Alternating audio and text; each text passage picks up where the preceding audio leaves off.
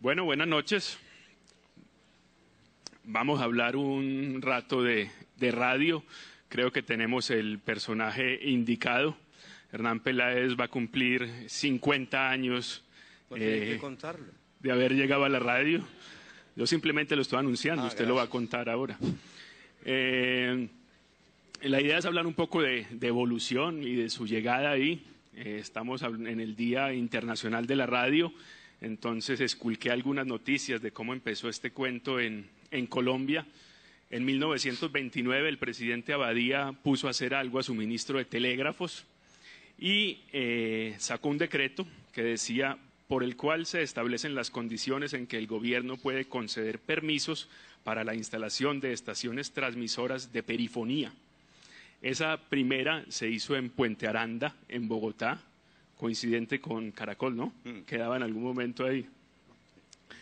Y esas primeras transmisiones eran simplemente de 8 a 10 de la noche.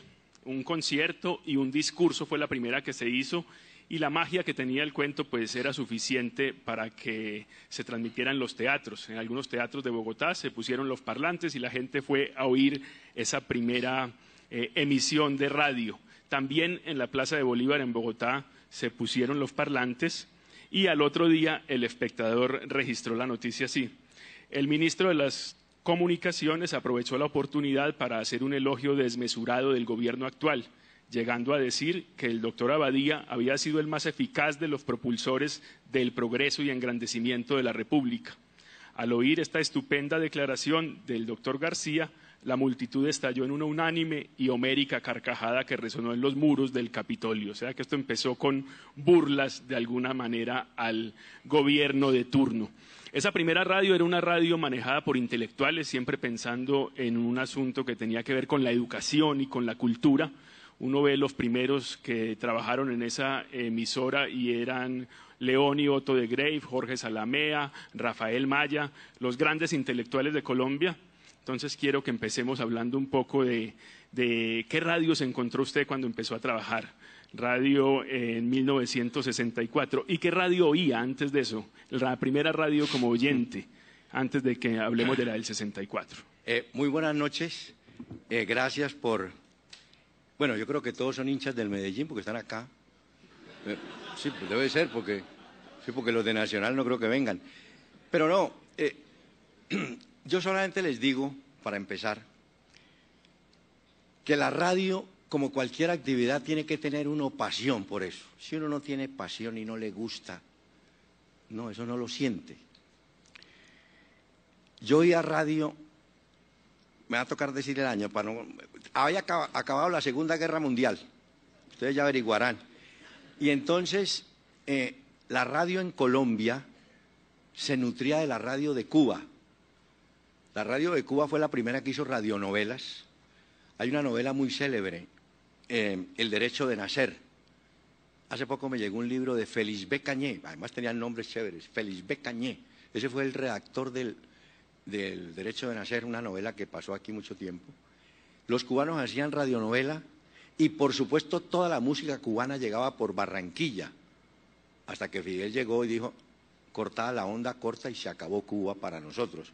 Pero durante muchos años Colombia, la radio, se nutrió de lo que hacían los cubanos, concursos, bueno, en fin. Eh, yo radio empecé a oír, bueno, me imagino que en el 50, 50 y pico, y la radio era en ese momento lo que teníamos, nosotros no teníamos más, no había ni televisión, ni mucho menos todos los adelantos de ahora. Entonces a uno le quedaba la radio y prendía la cajita esa y a oírlos. Y entonces había concursos. Generalmente las dos cadenas nacen en el 48 y los programas los originaba Medellín, la voz de Medellín y la voz de Antioquia. Entonces venían los artistas, había una competencia, cada semana traían un artista eh, en vivo. Yo le contaba a Pascual la disciplina. Yo tengo todavía un personaje de esa época que se llama Gabriel Muñoz López tiene 84 años y ese señor no solamente es un ejemplo, sino que lo descresta uno. Eh, yo le hice un programa de música, le dije, Gabrielito, necesito que hablemos de los boleros que a usted, a usted le gustan. Bueno, no sé qué día, tal hora, tal día llegó y me entregó el libreto. Lo conservo porque me llamó la atención. Él todavía escribe y para sus programas que hace hoy de música colombiana pone locutor in, eso significa que el locutor habla, rueda disco, locutor off.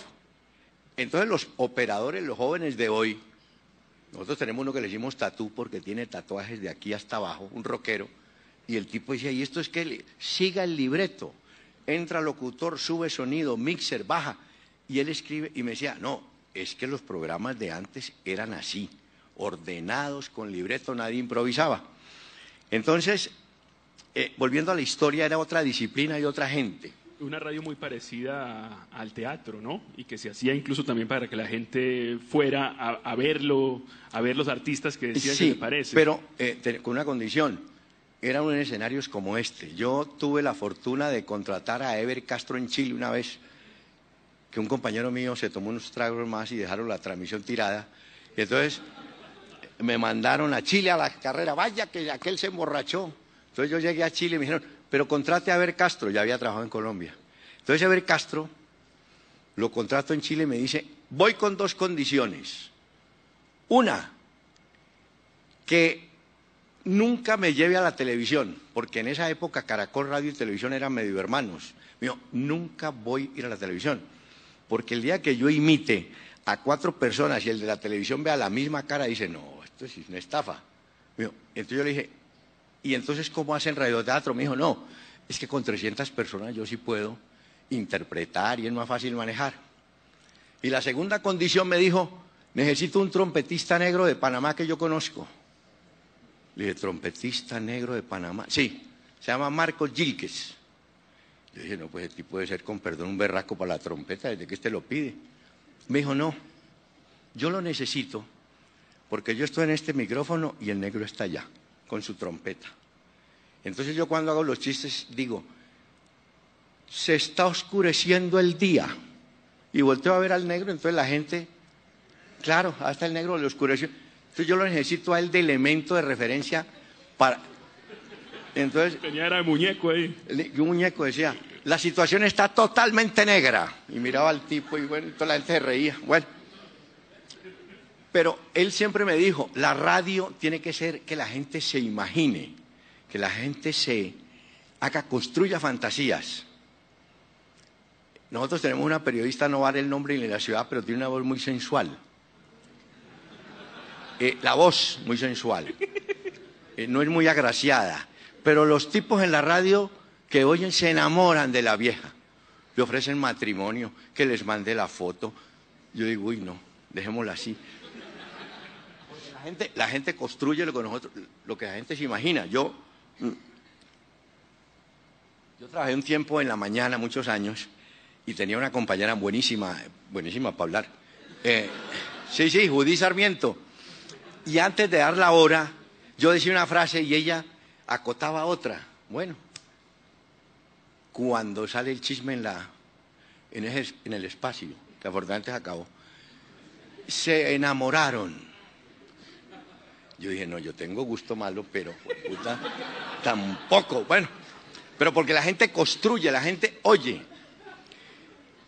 La gente de radio, uno no cree que sea tan sensible. Mire, en ese mismo programa yo daba la hora esperando que un gringo, una, una grabación que entra de Fort Collins, Colorado, entrara. La empezamos a dar con el gringo. Entonces alguien purista dijo, no, no, no, vamos a meter una voz en español había una grabación de la ETV, la Telefónica Bogotá, una una mexicana que decía, son las 7 y 15. Metimos esa vieja, uy, qué desastre. Usted no se imagina la protesta de la gente. Entonces le pedimos a una agencia, creo que fue el de Burné, hombre, averigüen a ver qué es lo que la gente quiere. Y nos presentaron el trabajo. Y la respuesta fue, la gente, la mayoría no entiende inglés. Pero eso cuando el tipo dice Universal Time y suena el pito, la gente cree que sabe inglés y se van feliz.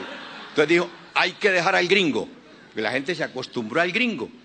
Y con ese gringo nos pasó una que reafirma lo que yo les decía de Gabriel, la exactitud. Trabajamos con la joya de Yamí, que es un desordenado, Y empezó a entrevistar a un señor X, no sé, y se fue. Yo tenía que dar a las 6 y 45 la hora y el tipo se fue y lo entrevistó. Cuando doy la hora en inglés, 6.51, pues yo me puse contento y dije, porque la gente se va a dar cuenta que no hay grabación, que eso es en vivo. Y el tipo da las 51. Bueno, al otro día, en esa época era cartas afortunadamente. Llegó una carta de una señora, usted no se imagina, la señora tenía razón. La señora tampoco entendía inglés, pero ella me decía en la carta, cuando el gringo pita ya, yo tengo que salir a coger el bus. Ese día el gringo pitó, salí, ya había pasado el bus. Entonces le dije a Yamí, Yamí, esta es la exactitud, hermano. Acostumbramos a la gente que es a las y 45 y a la señora le dimos 51. La señora ese día no fue al trabajo. No, el rollo, y a partir de eso más o menos, pero fue la costumbre que la gente tenía. Entonces yo creo que la, radio tiene la ventaja de que lo acompaña a uno, le dice mentiras a uno inocentes, exagera, y de eso vamos a hablar un poquito. A mí me tocó trabajar con la gente de radionovelas. Eh, Todelar tenía, yo estaba en Tolear cuando había una que se llamaba Calimán. Y había un tipo, no sé si era Calimán, había uno que, un personaje, Kadir el Árabe. Kadir el Árabe era un tipo, eh, usted le oía la voz, y decía, hijo de tanta, debe ser primo don Diego de alguno malo como él solo. Cuando llega la televisión, el director era Gaspar Ospina. Y se fueron para la televisión Gaspar Ospina, un tipo pachón, una niña Gloria Zapata. Y no llevaron, César Romero se llamaba el tipo, y no llevaron a César Borrero, que se llama, no lo llevaron. entonces yo le pregunté a Gaspar, hombre, Gaspar, ¿cómo le hacen eso? Se van todos los de la radionovela y dejan a este pobre hombre aquí. Dijo, hermano, ¿cómo lo va a llevar? El tipo era enanito. Digo, cuando salga en la televisión un enano hablando así, se murió, no nos sirvió. Y el pobre tipo le tocó quedarse en radio, porque la imagen que él tenía era de malo, de osco, un tipo, uno se le imaginaba, y era un chiquito así, que fumaba. Ese se quedó. Esto para reafirmarles que nosotros sabemos que en la, en la radio lo que ofrecemos es una imagen para que la gente construya cosas. Yo, por ejemplo, no estoy de acuerdo con y eso viene de Argentina ahora, que hacen radio y los enfocan en una cámara, o, con mi respeto a los amigos de la Blue. Yo creo que eso no tiene encanto. La radio es para que construya a la gente ideas y la televisión es otra cosa. Que seguir sosteniendo esa mentira. Claro. Nosotros, por ejemplo, en el radioteatro, eh, hoy le contaba a Pascual, los cantantes llegaban y los hacían ensayar a las 11 de la mañana, con cronómetro. Y tenía que cantar cuatro canciones y cronometraban.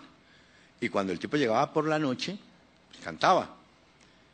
Y en eso hubo, eh, eh, nosotros por lo menos en Caracol tuvimos, estaban contando Gabriel Muñoz de Olga Guillot, una bolerista cubana espectacular. Y estaba la orquesta de Don Américo, que era la orquesta de planta. Eso era con músicos de verdad y todo. Y empezó a ensayar con ellos. Y de pronto la señora, muy raro que las mujeres sean así, se puso brava y dijo, no, paren, esto, ustedes no son una orquesta, ustedes son una banda pues más de Don Américo, fuera. Tuvieron que conseguir un pianista. Y el pianista vino y acompañó a Olga Guillot. O sea, había gente, corría la teja, pero en general el público cada ocho días veía la competencia de RCN con Caracol y eso y fue la época brillante de los, de los músicos, de los cantantes.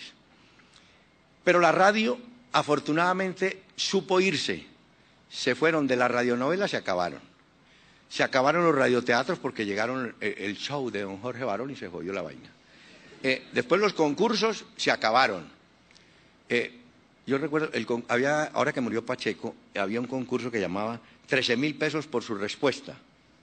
Y había un paisano suyo, de ustedes, un, don Antonio Pareso Robledo. Se sentaba y cruzaba los brazos. Entonces le preguntaban al tipo, ¿dónde está? me acuerdo, hubo un concurso de tortugas, un programa de tortugas, y le preguntan al tipo, ¿dónde han salido estampillas con tortugas? Imagino unas preguntas, y, el señor supo, dijo, cuatro, en cuatro países, bueno, está. Y él apenas hacía.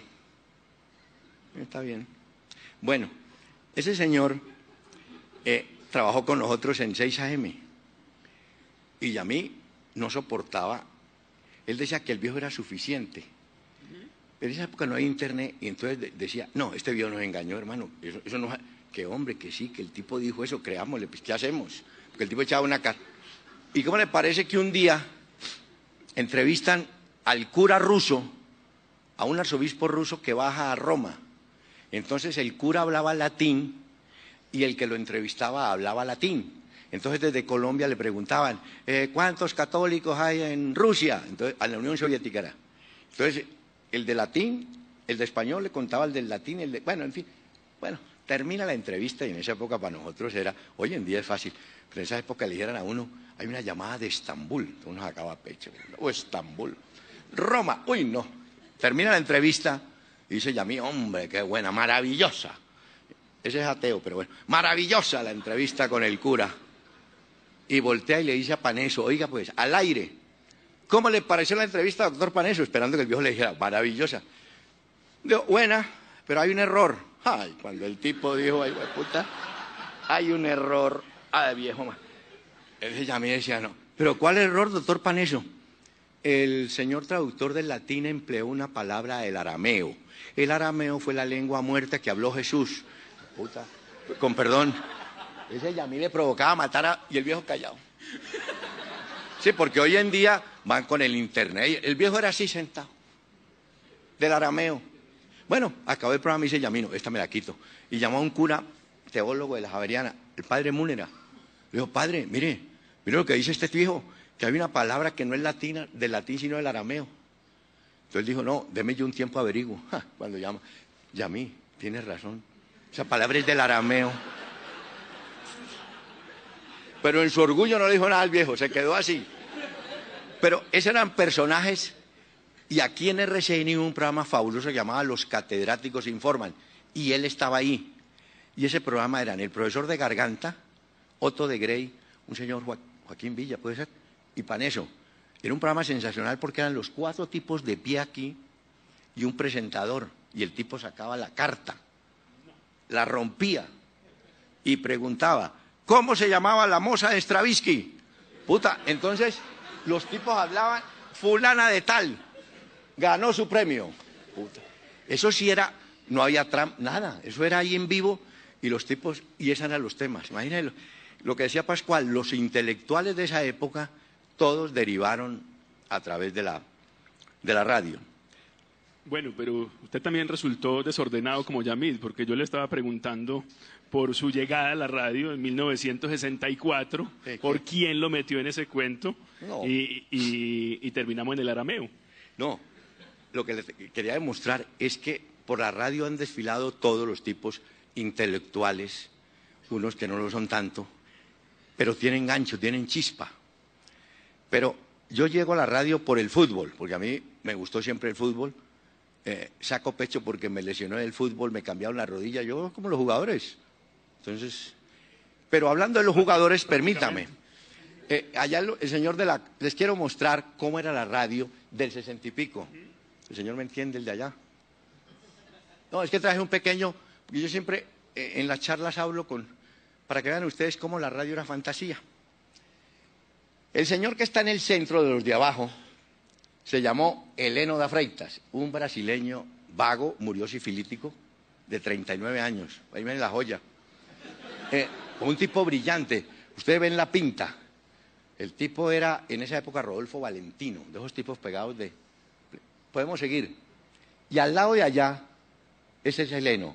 Y al lado de allá, mire qué bien hecho eso. Y en el lado de allá estaba García Me Muerde, ese. Le decían Me Muerde porque el tipo tenía una pianola. Cuando el tipo se reía, entonces le pusieron García Me Muerde. Este tipo es para mostrar lo que es la psicología. Este brasileño está un día con García Me Muerde en el vestuario y se están cambiando. Y entonces García Me Muerde le dice a otro, uy, me duelen los meniscos. Y le dice Leno, fique tranquilo, los negros no tienen meniscos. Y jugó, se le quitó el dolor. Pero esa es la, la convicción de... Bueno, sigamos. La radio de nosotros era de inventiva. Nosotros veíamos a este tipo que es Verón con esa cosita en la rodilla. Entonces el periodista decía, yo creo que tiene una distensión de ligamentos. El otro decía, no, yo creo que es algo de meniscos. Resulta que el tipo se pone eso por superstición. Pero nosotros ya de médicos decíamos, tiene distensión de ligamentos. Y en otra época, podemos avanzar, este que jugó acá, con Moreno, en esa época, miren, lo ordinario, jugaban con una muslera, una cosa aquí. ya no se usa. Entonces, el periodista decía, se ha desgarrado el cuádriceps. No se había desgarrado nada, pero se la ponía de... Y hay otro. O sea, la radio tenía esa inventiva y el tipo que oía radio decía, uy, estos tipos sí saben mucho, mire. Este, no, ese tiene la rodilla perdida. No, no tiene ninguna rodilla perdida. La ponía porque le gustaba. Eso simplemente para mostrar cómo la radio fue cambiando el lenguaje. Hoy en día es dificilísimo. Hoy en día no se atreve a decir qué pasó porque le meten la cámara 18 veces y ahí queda uno. Por eso se acabaron las discusiones. Yo tuve un programa de la polémica va avanzando que era muy bueno porque hablaban todos al tiempo. Y entonces, sí, buenísimo. Yo no sé, ustedes han ido a un, a un cóctel, hacen un grupo. ¿Usted cree que el señor, los cuatro que están, dejan hablar a él? No, él habla y los otros cuatro empiezan a opinar y al final se van y se entienden. Nosotros mandamos un tipo a la Universidad Nacional para hacer ese programa. Oiga, la investigación, váyase para la universidad con esta grabadora el lunes, o había jugado el junior, y escucha a ver qué dicen esos tipos en la cafetería. Y viene el tipo y nos trae la grabación. No entendimos un carajo. Le dijimos, hermano, usted le cambió las pilas, sí, pero oiga eso, no se oye nada. Dijo, no, no, no, yo puse la grabadora y llegaron dos y pusieron a hablar del Junior. Este se llevó los libros, este se sentó, pidió gaseosa, alegaron y se fueron. Y todos entendieron. Dijimos, esa es Colombia. Y así hicimos la polémica. Todos pueden hablar y entonces la gente se ponía brava. Que, que no se entiende. Bueno, pero es que es así. Aquí Colombia es así. ¿Cuántos eran? ¿Eran como dos? eran como once. Once bárbaros. Eh, pero la radio tiene esa gracia, tiene esa magia. A mí me tocó, me endosaron la luciérnaga, donde no he podido educar a ciertas personas. Entonces, cuando me la pusieron, me dijeron, hombre, si usted manejó 11 tipos que no veía, ¿cómo no va a manejar esos ocho que hay por ahí en dos ciudades? Y bueno, y así salió. Pero eh, la polémica también desapareció porque hoy en televisión discuten, le muestran el video, le muestran el tablero, entonces ya la polémica y ponernos a hablar de Envigado y Tagüí, estamos viendo a, a Arsenal, ya es que como jodido. Entonces, la radio se ha ido acomodando. Nosotros hacíamos fútbol los domingos de una y media a ocho. Hoy hay fútbol el viernes, el sábado, el domingo. Entonces, eso es un lío. Entonces, la radio se ha ido, pero donde vamos ganando es haber admitido a las redes sociales.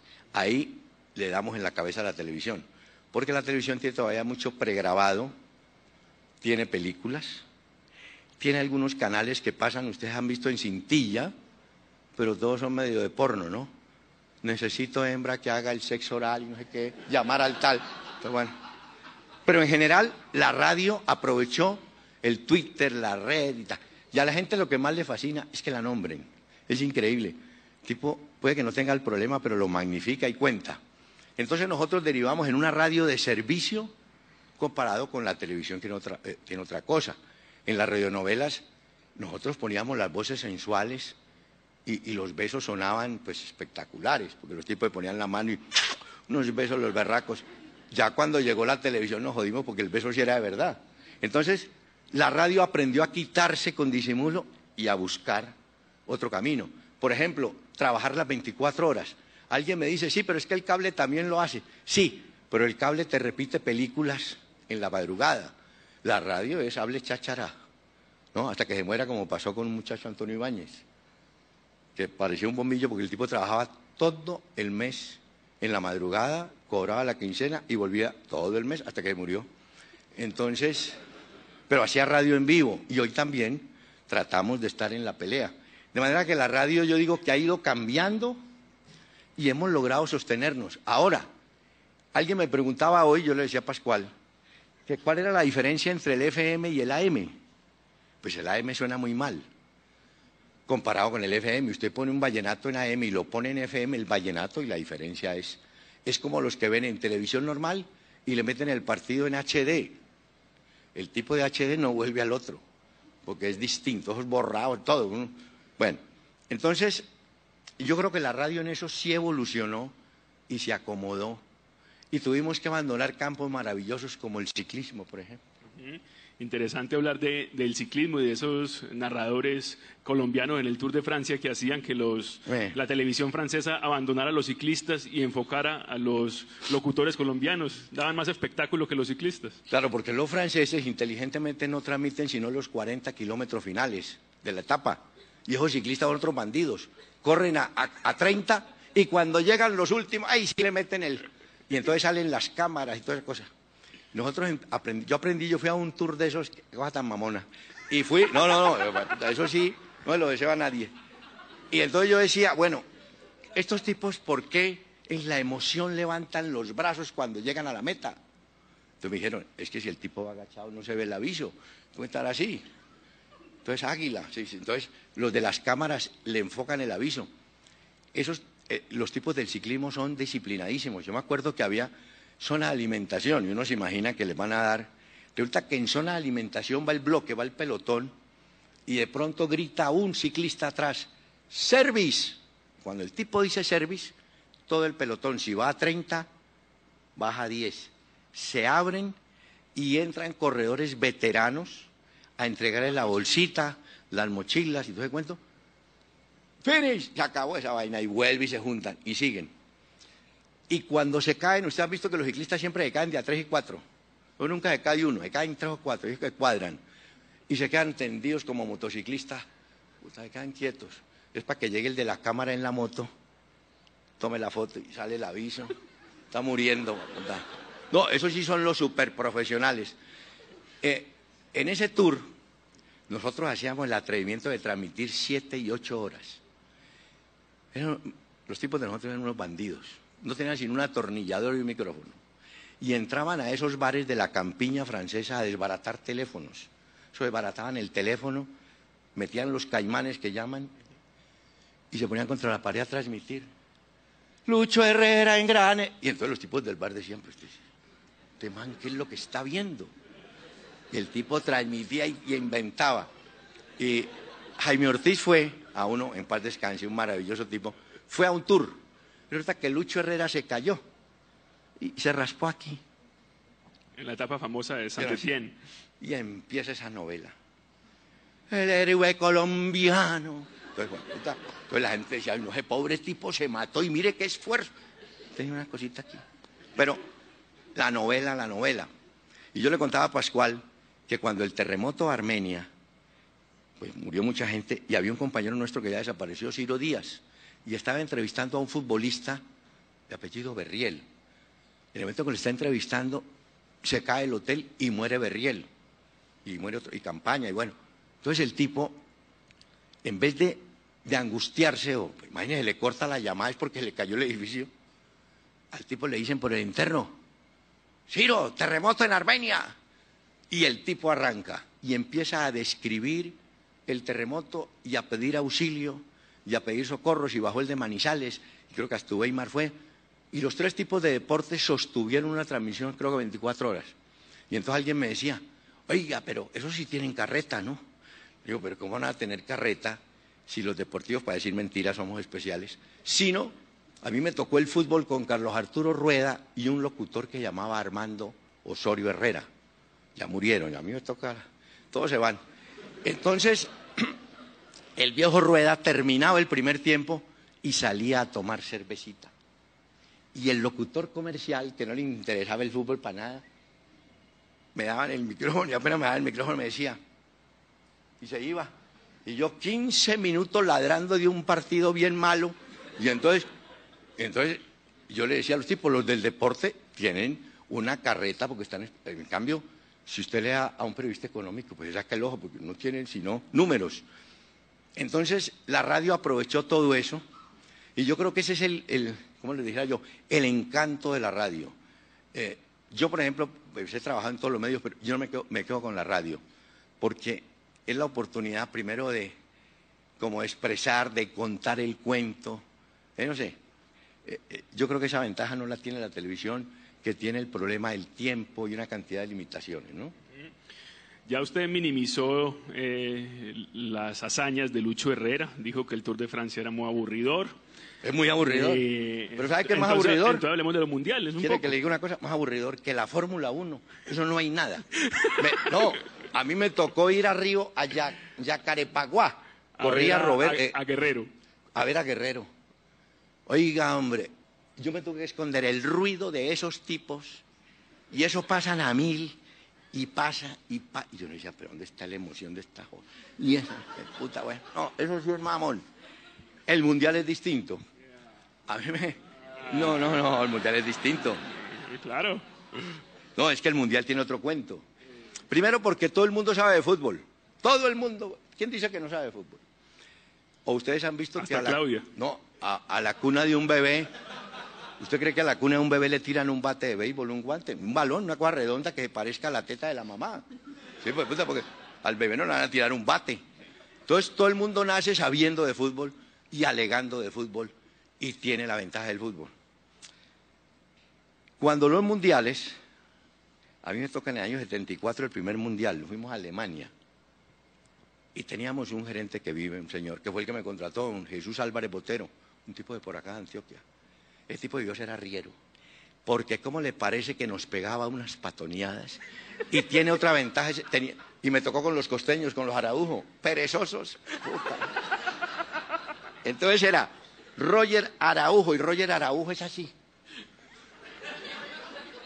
Y este señor tiene el pasito de los tipos del, del monte, de ojos de pasito cortico. Y ese señor nos arrió por toda Alemania. Puta. ¿Cómo era que los costeños le dijeron, don Jesús, no queremos regresar toda Colombia, nos vamos a ir para Portugal? Y el viejo les dijo, vayan, se van para Portugal. Y a los dos días, huelga de Panamericano. Un mes clavados en Portugal se quedaron, con tal de no, agu- no aguantarse al viejo. Pero ese mundial era muy fácil, porque eran menos equipos, se jugaba cada tres días. Después llegó, fuimos creciendo y el mundial, a mí me tocó un mundial. Se al, se al chupe mientras tanto, entre partido y partido. pero estando él no, pero ya en, en España, no, pero es que en España sí fue peor. A nosotros nos dieron en el Mundial del 90 y pico, bueno, sí, me tocó manejar, porque le daban, Caracol creía que es una vaina buena y le daban unos carros que habían usado en el Tour, los dejaban en Toulouse, me acuerdo. Entonces uno llegaba, vaya a Toulouse por el carro, unas camionetas de, y hágale. Hicimos Italia, hicimos España en carro. Y, y pasaron cosas simpáticas. En España viajaba con nosotros un muchacho que estaba empezando, Juan Manuel González, y yo iba con un tipo Perdomo. Perdomo era el locutor, pues. Y íbamos para algún, ah, íbamos un partido para en el Molinón. Y él y yo íbamos adelante y el otro iba atrás durmiendo así. Y entonces, bueno, hermano, ¿quiénes jugarán en, en el equipo alemán? Y estábamos hablando del partido. No, ese partido se lo gana fácil. Y de pronto el tipo esos que se despierta y que están hablando. El partido queda 0 a 0. Y Luis acostó. Puta. Y el partido quedó 0 a 0. Entonces, pues, puta, nosotros le votamos corriente. 0 a 0 dijo el dormido. Entonces le pusimos al profesor porque este berraco adivinaba. Eh, pero realmente los mundiales para uno, yendo a eso sí es. Yo creo que sí, pues, es muy cansón porque son muchos partidos, pero es un momento buenísimo. Eh, vamos a ver el de Brasil cómo sale. Pero la radio, la radio ha tenido que abandonar deportes. Fíjese que en el caso del fútbol ahora nos inventamos, claro, porque los españoles son económicos como un Ford, entonces entre menos locutores haya mejor. Entonces ponen un locutor y entonces dan cambios a las plazas y no sé qué. Nos tuvimos que quitar de eso, porque ya no meten los partidos en directo y no sabemos qué hacer, si seguirlos o no.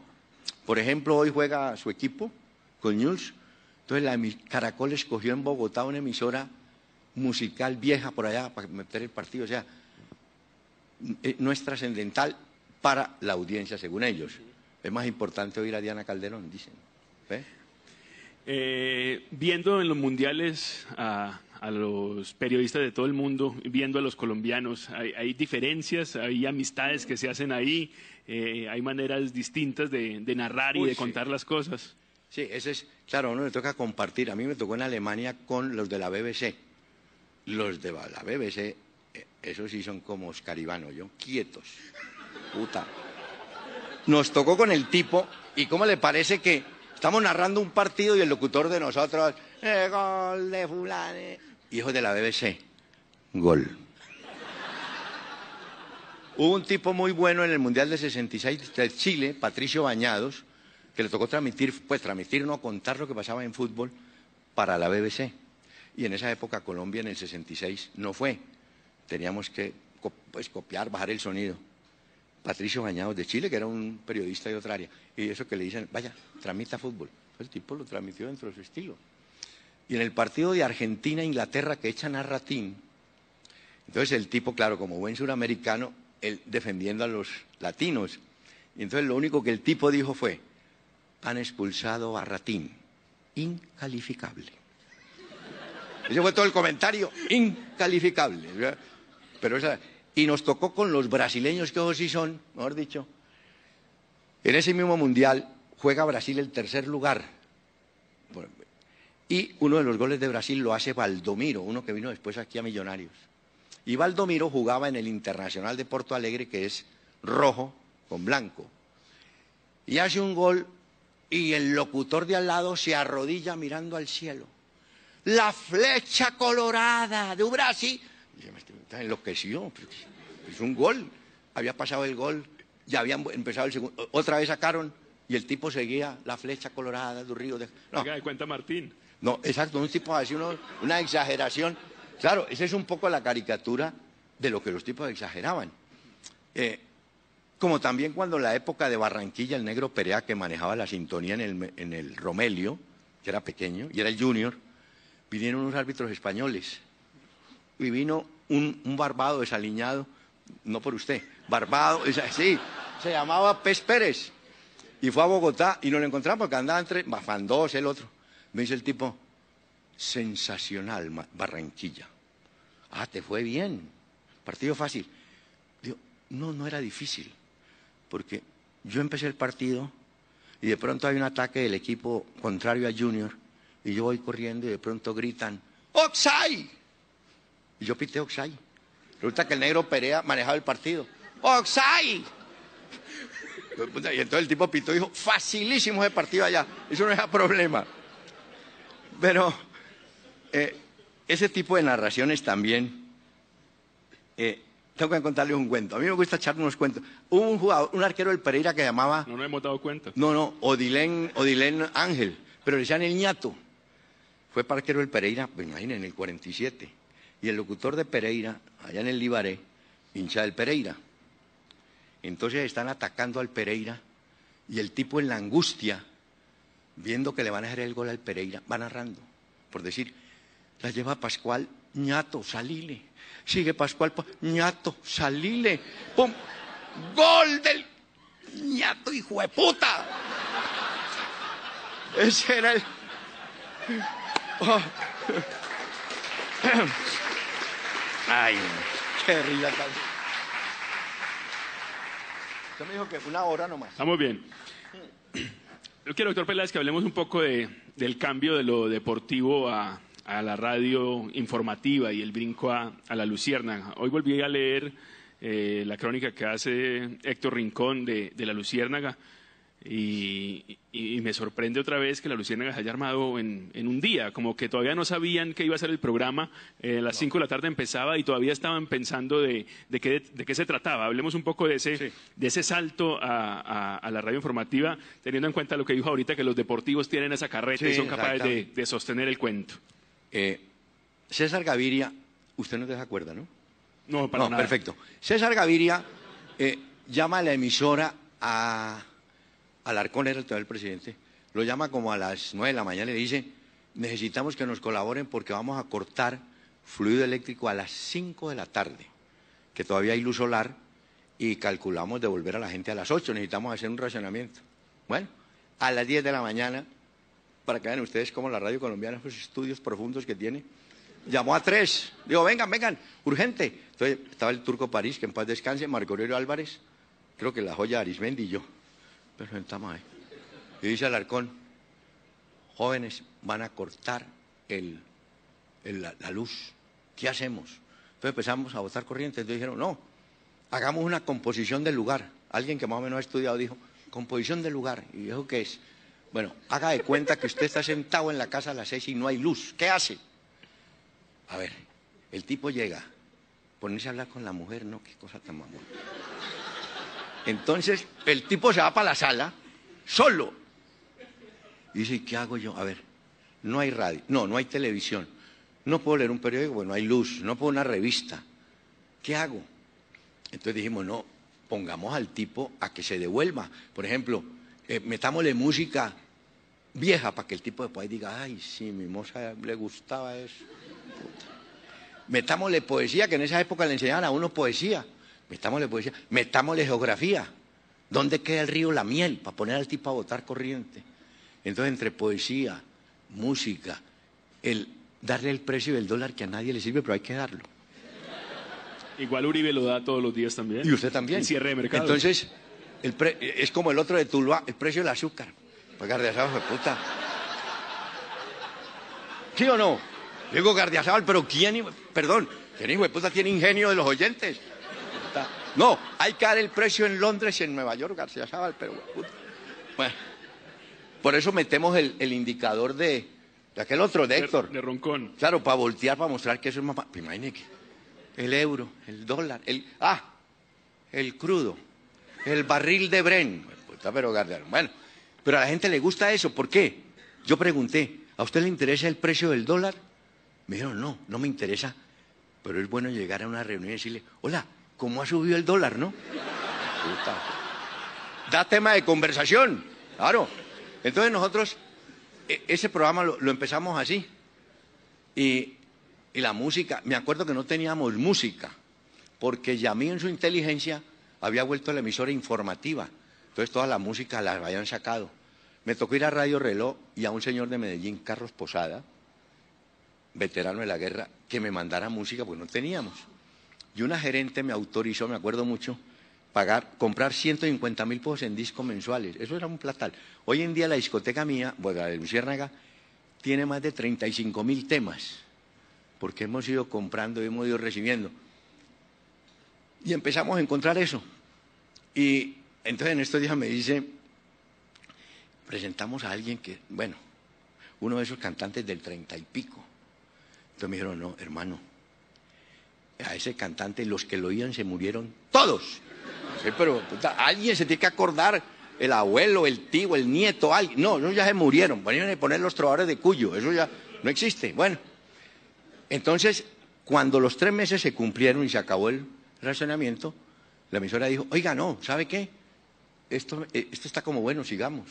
Y sigamos que llevamos 22 años en el cuento. Claro, hemos cambiado, ya no es tanto de entretención, sino de denuncia, porque la gente encontró denuncia. Nosotros acordamos ahora que los problemas no los podemos resolver, pero se los trasladamos a los pobres tipos. Protesta contra Claro, ya tenemos a quien le mandamos a Claro. Que el avión de Avianca, tome señora Avianca el avión. Aprendimos que todo eso, a la gente, verán si le solucionan o no, pero la gente cree que, que tenemos la solución. Eh, es como, yo fui al banco hace poco y me dice la señorita, ¿das que actualizan datos? Eh, ¿Su teléfono celular es privado? Eh, no. ¿Me va a dar el número? Sí, señorita, 315. Me dijo, ¿y no le da miedo? Le dije, pero si me llaman del patio séptimo de Cómbita, pues puta, va a tener yo miedo ya. Entonces, no hay nada privado.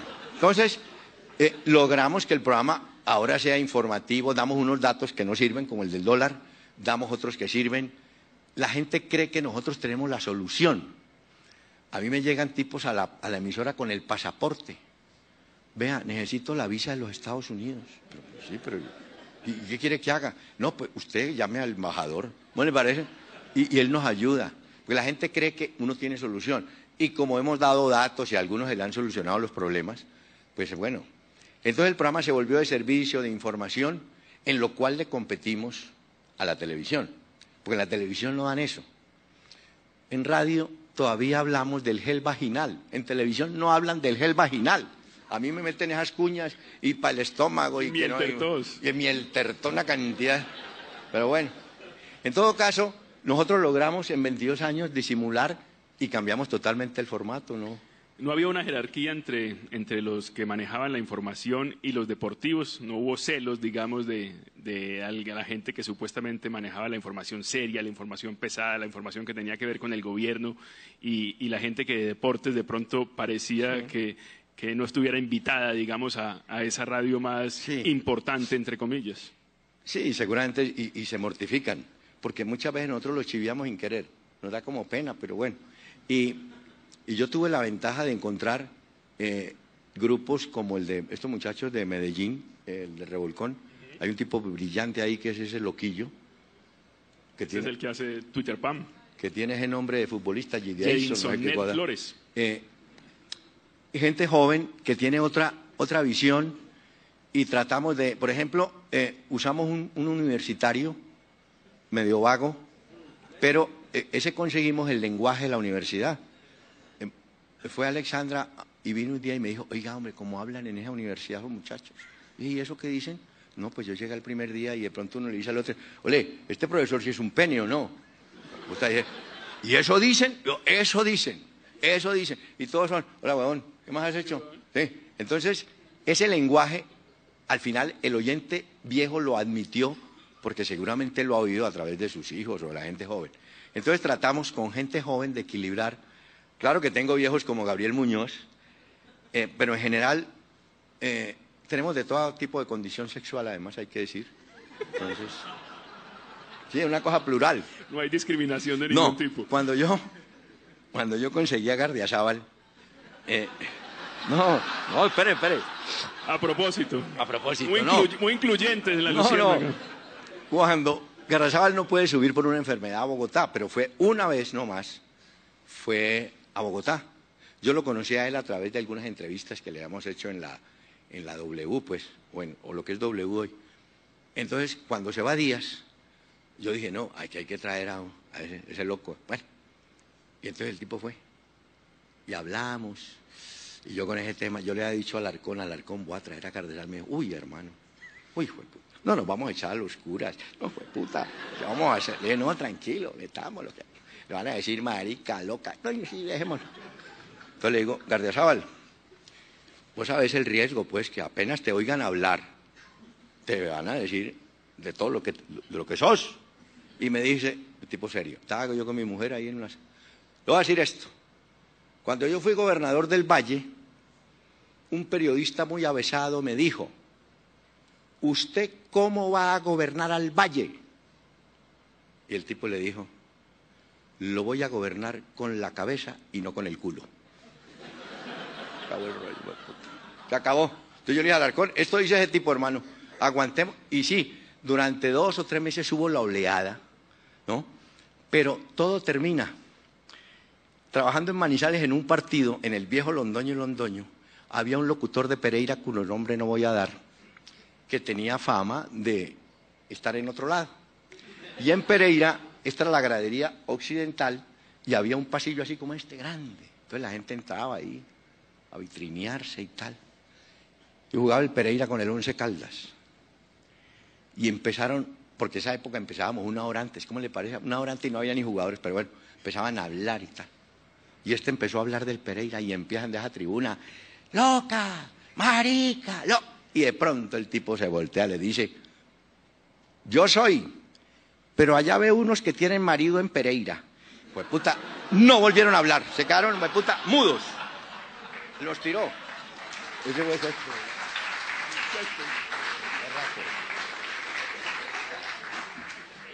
Ya le dije el nombre a pasito.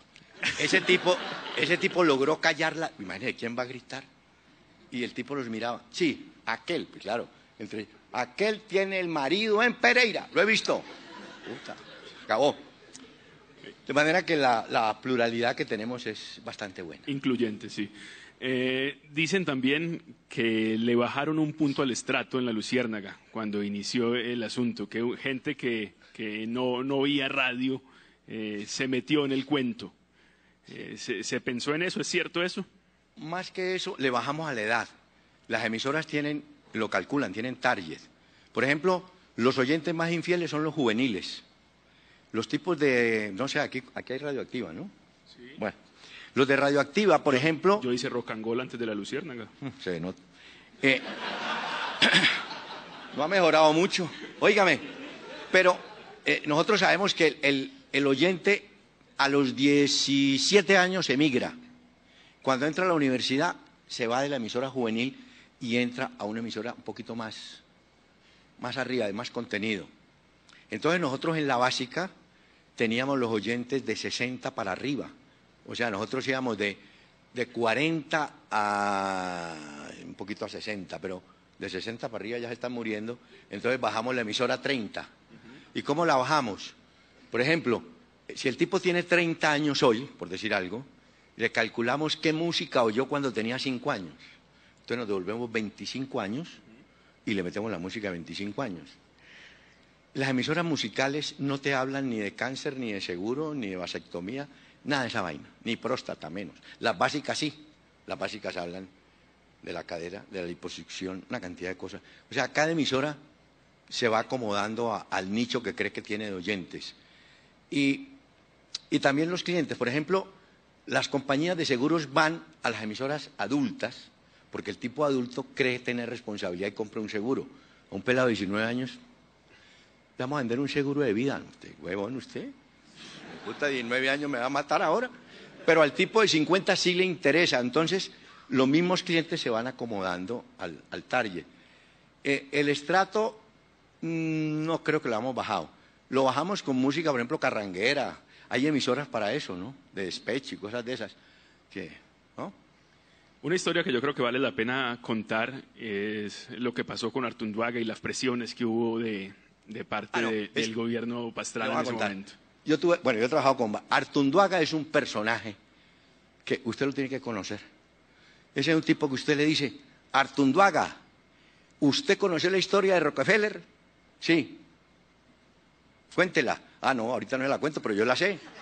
Puta, pero cuéntela, hermano.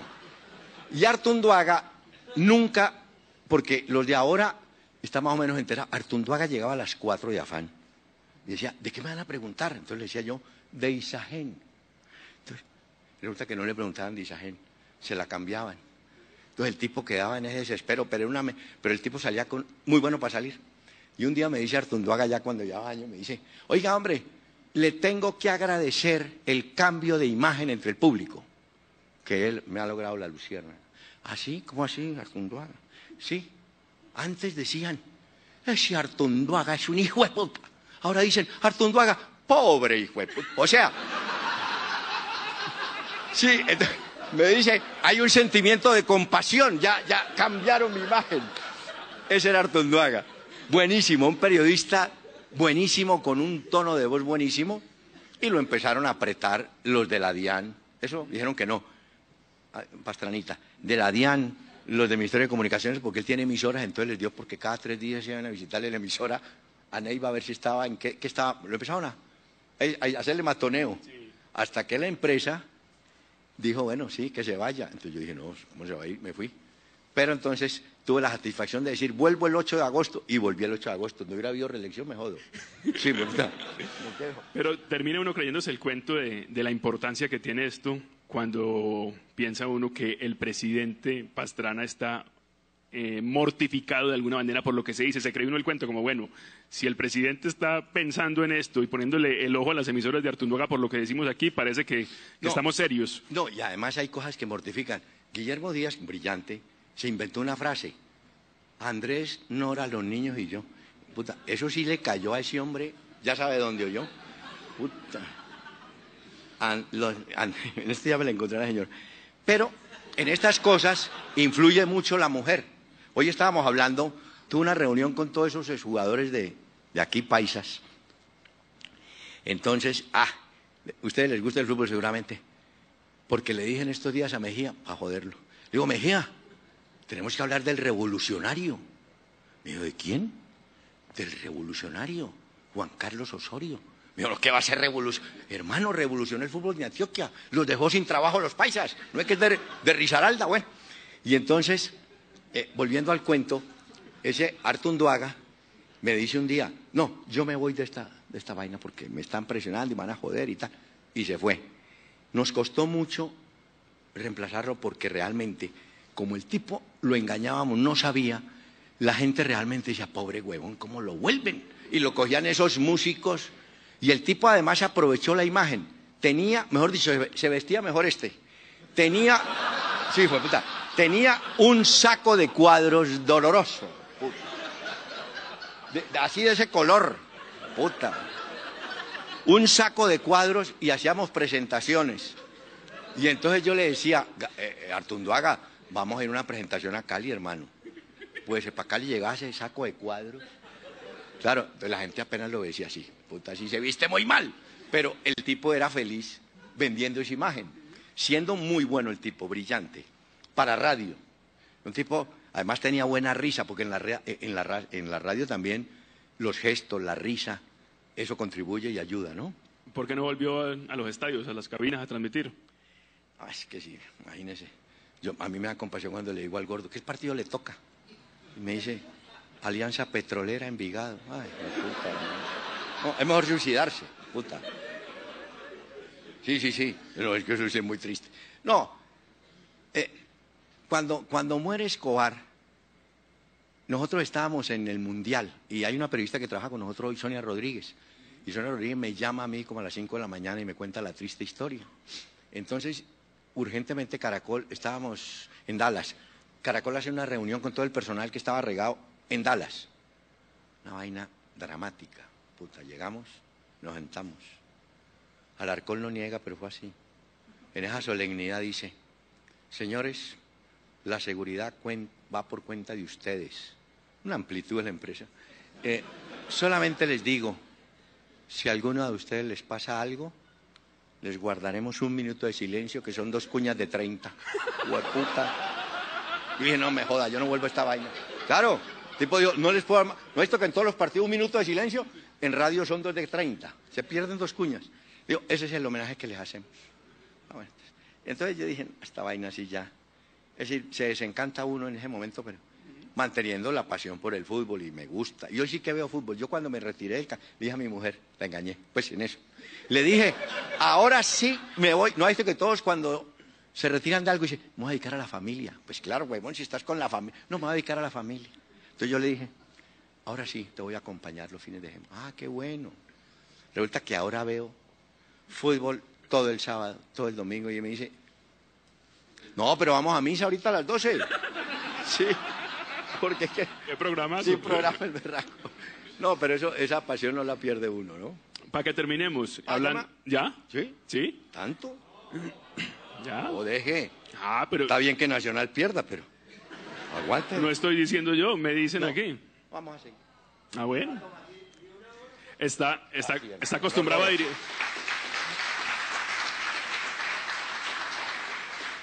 Estamos acostumbrados a dirigir. No, pero... Ah. Eh, entre las mentiras, siempre en la radio y en la Luciérnaga parece muy, muy serio, eh, pero Rincón y mucha gente dice que es un asusador profesional. No, lo que pasa es que... E-, esa seriedad tiene un chuzo por debajo que, no, no, lo que, gracias a Dios no se ve. Lo que pasa es que algunos de ustedes son como lentos, entonces uno va adelante, uno va adelante. Entonces cuando uno va adelante es como el tipo que sabe el libreto, va adelante y es yo, por ejemplo, usted, usted ve hoy, yo manejo mucho las señas, porque los locutores, por ejemplo, los de fútbol, se les olvida dar el marcador. Y yo muchas veces voy oyéndolo y digo, pero este partido, ¿cómo irá? Entonces cojo y llamo, Sanín, decime el número, ¿cómo van? Entonces uno aprende señas. Entonces yo con los locutores siempre les hago, para que se acuerde si va a cero a cero, da el tiempo. O sea, y en el caso del programa, como yo no los veo a ellos ni veo al de Tuluá, afortunadamente, los veo a los de Bogotá. Entonces me toca por mucha seña. Y, de eso hablábamos. Ustedes han visto los de béisbol, la cantidad de señas. Yo también las tengo. Entonces, cuando va a entrar, por ejemplo, una de las. Alexandra, entonces yo le hago el control. Entonces, ¡pum! Va para allá. Claro, él ya sabe. Sí, porque no me puedo. Hola, me anda. Ellas ya saben que va para allá. Eh, el, si hay que estirar el programa, entonces uno con una melcocha estira, córtelo. O sea, hay una cantidad de señas. Si viene un señor, uno le hace, hermano, hágale. Entonces, eso, eso, pero si el tipo está enterado del tema, eh, yo sé, por ejemplo, que Pascual va, entonces uno más o menos le hace, o un esguince o le hace una pregunta, ¿no? Y yo no sé, lo que pasa es que son muchos años manejando, es que yo manejé la Lucierna, esa polémica eran 11 tipos que no veíamos. Yo lo único que veía era Jaime Ortiz. ¿Quién era el peor de...? Y Jaime Ortiz se sentaba a pintar. Jaime, ¿ah, qué hubo? Las garroteras eran entre Jaime Ortiz y Perea, no Ah, las es que- grandes. es que Ortiz sí era. No, Ortiz fue un tipo conmigo, un amor, porque de Cali, bebedor como el solo, pero el bueno, buena vida. Hijo, al negro Perea, lo- no, por el negro Perea sí engranaba porque le inventaba cuentos. Por ejemplo, fuimos, el negro yo, a Santa Marta a grabar un programa de Caracol, se llamaba Blanco y Negro. Y, nos encontramos con, en Pescadito con Calero. Y el negro Perea tenía un Mercedes viejo, lindo, blanco, convertible, de años 60. o- Y volví por la noche a, la emisora. y entonces llega Ortiz y me dice, ¿cómo le fue en Santa Marta? Le digo, no, divinamente. Allá estuvimos en Pescadito con los... Ah, sí. Doctor, qué bonito el carro que tenía. Le no, no, el carro no era mía. Y dice Ortiz, doctor, ¿y dónde consiguió ese chofer negro? Pues puta. Apenas le dijo al negro, el chofer negro de Perea, se le iba. No, no, no. Y Perea, la señora de Perea, una de las señoras de Perea, se llamaba Celia. Y otra señora de Perea en Cali se llamaba eh, Damaris, no. Damaris, sí. Damaris Caicedo, creo que se. Entonces el, eh, Ortiz empieza a joder al negro y dice, bueno, tenemos que hacer un homenaje en Cali a Celia el negro callado, a Celia.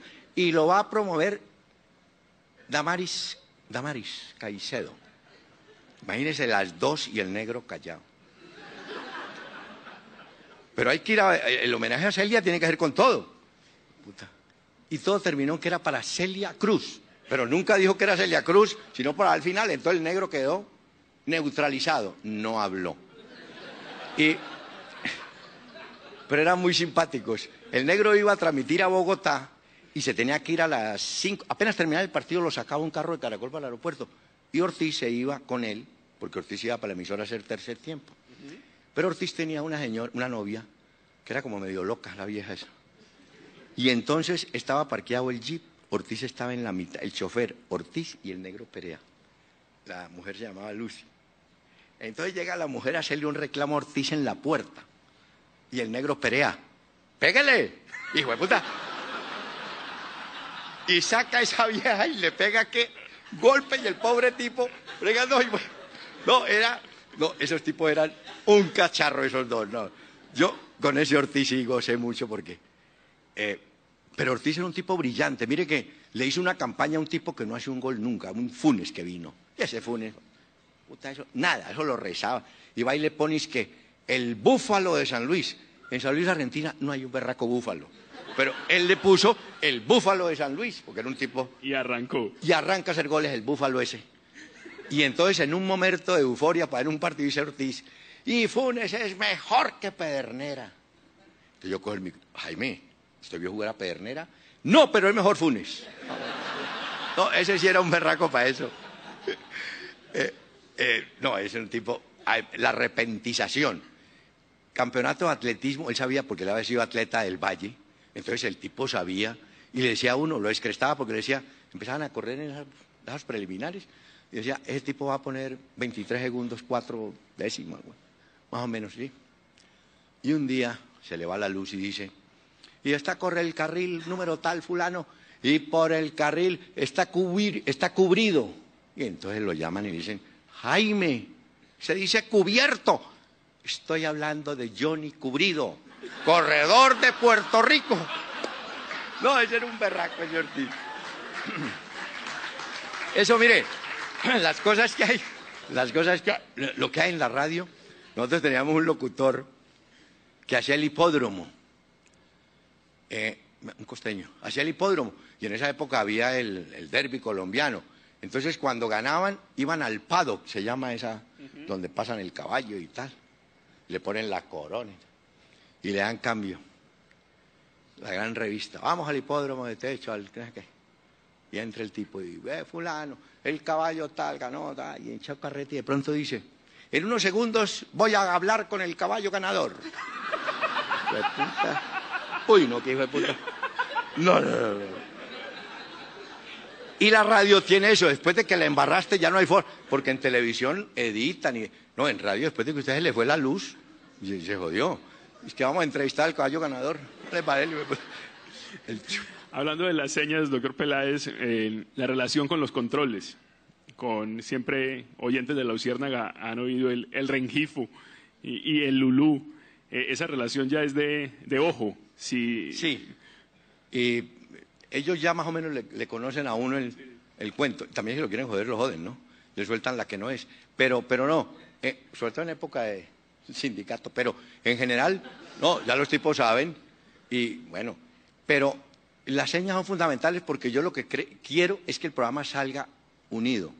Es decir, que no haya bache. Cuando hay algún bache, yo le digo a él, venda el bache, meta algo ahí porque, porque la gente en la continuidad se va quedando y la gente se aterra. ¿Cómo hacen para salir de Tuluá y, de y no se nota nada? Porque ellos ya tienen más o menos la, la rutina. El programa la gente cree que es fácil, es muy difícil de hacer porque uno tiene que editar en el día lo que es importante. Es decir, y sacrificar noticias, ahí sí como los editores de periódico, que es más importante que vaya en primera o en titular. De manera que yo realmente gozo haciendo el programa, pero gozo más haciendo el del fútbol. Eso sí me encanta, para joder al gordo. Ah. Sí, porque eh, hoy que estuve con todos esos jugadores antioqueños, me dice uno de ellos, bueno, usted queda nombrado presidente honorario de los técnicos de la rosca. Le dije, esa la meto el día que vaya, para que gordo se trine. Y entonces le mando el saludo. Porque eh, en la gente, lo del fútbol tiene una cosa grandísima. Es un programa sencillo de hacer. ¿Por qué? Porque los oyentes preguntan, uno les contesta, lo corrigen a uno que eso les fascina, usted se equivocó, en fin, y contar historias entre lo de antes y lo de ayer. Perdón, lo de ayer y lo de hoy. Hoy les contaba yo varios cuentos de los jugadores de antes, hablaban más, contaban más, ganaban menos, pero se divertían más. Es que el jugador de hoy no se divierte. El jugador de hoy lo, lo aísla uno. Usted va a entrevistarlo y el tipo tiene dos cositas aquí. Tú no sabes, estará oyendo música. Este mano tiene apagado ese aparato, pero entonces uno cómo le va a jalar el audífono para que el tipo sigue derecho y ahí queda uno. Eh, y se inventaron las tales ruedas de prensa que son un desastre, porque todos los muchachos de ahora, para sorprender o para demostrarle al técnico, entonces le hacen la, le construyen la pregunta, ¿no? Entonces yo le decía a Sachi, Sachi, usted en la rueda de prensa le dicen, bueno, el Once Caldas empezó jugando con un delantero en punta, pero usted en un cambio importante resolvió mandar otro volante al ataque. ¿Qué opina? Sí. Pues, puta, pues, puta. preguntan y responden. Sí, Ya, sí.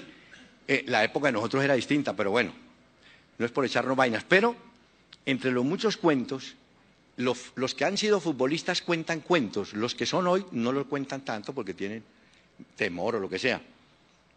Y les contaba el cuento de un samario que llevó Pinto. Jorge Luis Pinto era un es un militar. Puta, ese. Los hacía subir al cable, como decir, subamos a- al parque, a ese Montibarra con. Les ponía como a los caballos, peso. Bueno, y llevó un samario, un tal Osvaldo Redondo, que fue, ese sí fue. Y entonces todos los días le llegaba tarde. Y un día dijo Pinto, señores, voy a cerrar el vestuario a las nueve de la mañana. El que llegue después de las nueve, lo echo. Entonces todos entraron. Y a las nueve y cuarto. ¿Quién es? Y dice, Osvaldo Redondo. Y le dice Pinto, ¿a qué viene? A despedirme de los compañeros. lo, tuvo, lo tuvo que dejar entrar porque, pues, ¿qué, qué- hacía? Puta, entre. No, no, no. Otra cosa, doctor Peláez, que le gusta a los oyentes y que termina uno dándose cuenta que lo que hacemos, que tiene mucho de, de noticias y que tiene lo de humor, eh, tiene también algo de radioteatro, porque los chistes internos, la mamadera de gallo, eh, las cosas que se repiten, eh, la gente se va conectando a ese juego también muy Sí. rápidamente. Yo, a Y mí me dicen que mañana que no, mañana toca radioteatro. No, ellos, ellos- y la gente protesta porque muchos no entienden de, de qué se ríen. Bueno, yo por ejemplo, ese risa loca, ¿de qué se ríe? E- ese tipo, yo no sé de qué carajo se ríe, y cuando va otro peor que es ese Pedro González, la puta, ay no, es mucha cabra. Ese sí es afado de la... Los otros son manejados. Por ejemplo, Polillo es un tipo muy inteligente, ese muchacho loquillo, Daza, pero ese González. Y González le da cuerda el de aquí y con eso tienen. Pero bueno, todo eso, pero por eso los tenemos dos días. Ahora es que va a ir mañana. Tenemos dos días para que no, para no saturar a la gente, porque la gente es en verdad. Uy, con ese que le dicen de todo. Pero ese, ese no le preocupa eso. Pero nosotros lo que tratamos es de que la gente quede con ganas de oír, que la gente quede con ganas o diga, hombre, no comentaron tal cosa y mañana estoy. Nos va muy bien con la gente del exterior. La gente del exterior, la gente sufre. El tipo, todos los colombianos que están en- el exterior uno los encuentra y todos se quieren devolver. Todos, el anhelo es volver. Van, hacen plata. Nosotros fuimos a un partido en Egipto y nos fuimos a montar en los tales camellos esos y a ver las pirámides. Y, nos empezamos a discutir. Hola, aquella es la del faraón. No, aquel.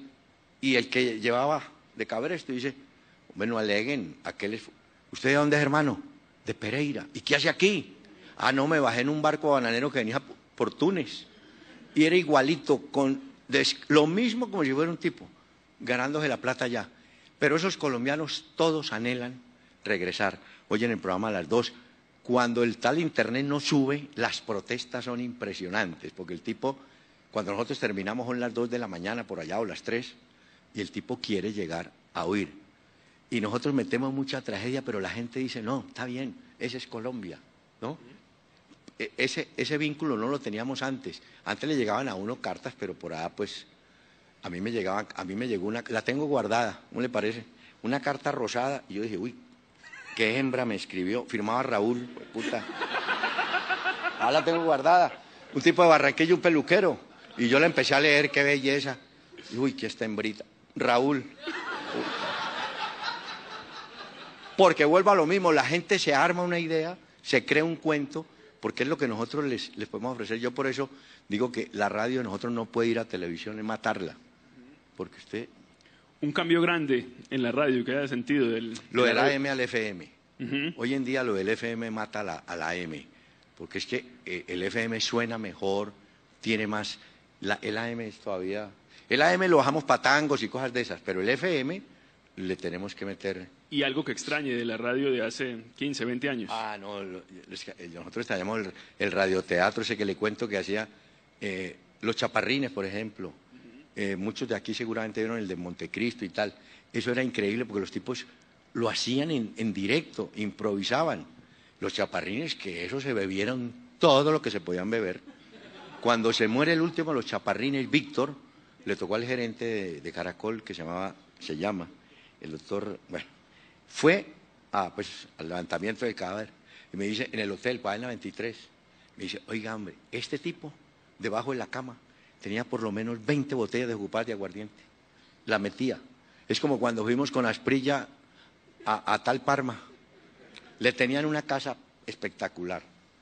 Tenía eh, BM, Macera, no, Ferrari y una moto.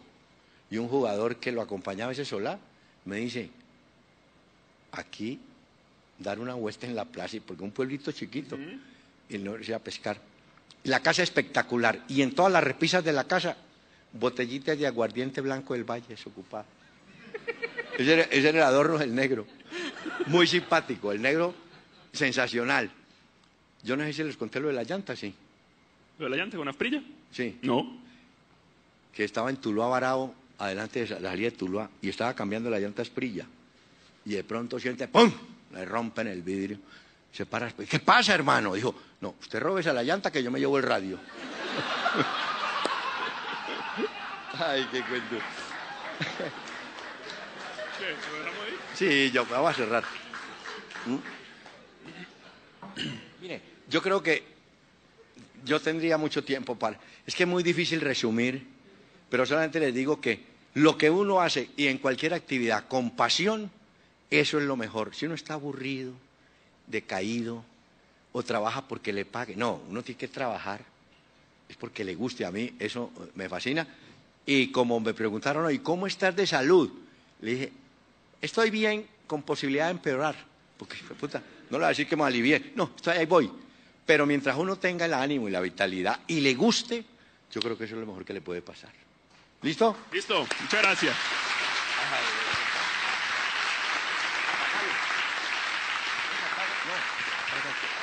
Sí, la pasa ahí. Bueno, no hicimos preguntas, Ramón. No. Le dije que si hacían preguntas, dijo que no. Una, ¿yo? Apágale el micrófono.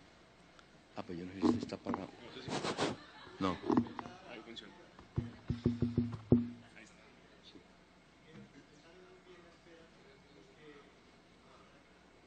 Dale un momentico.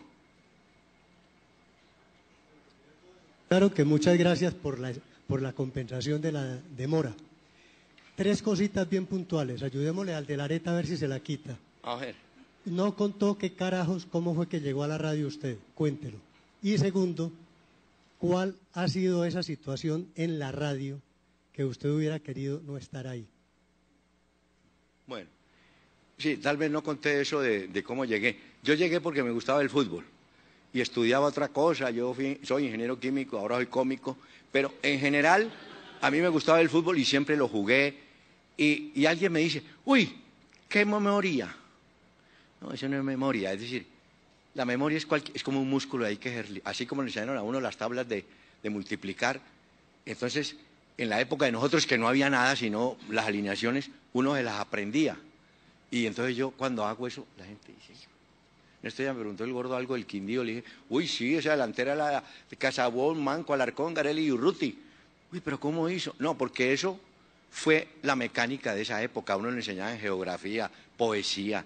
eh, a mí me tocó estudiar latín, no sé para qué, pero me tocó.